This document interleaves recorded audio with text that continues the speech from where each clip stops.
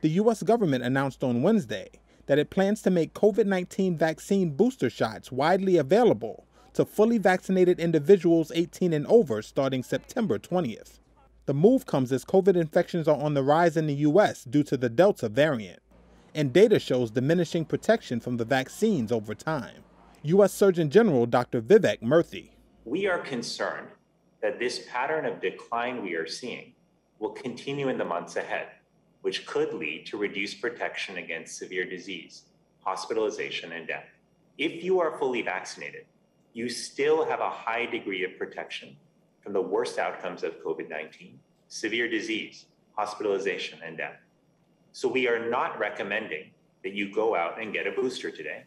Americans who have completed a two dose inoculation of the Moderna or Pfizer BioNTech vaccines at least eight months ago will be eligible for the third dose. But those who received the single dose Johnson & Johnson vaccine will have to wait on a booster for now, as more data is expected in the next few weeks. Top U.S. health officials said in a joint statement that booster shots initially will focus on healthcare workers, nursing home residents, and older people, among the first groups to be vaccinated in late 2020 and early 2021. According to CDC data, more than 72% of Americans 18 and older have received at least one vaccine dose, and nearly 62% are fully vaccinated.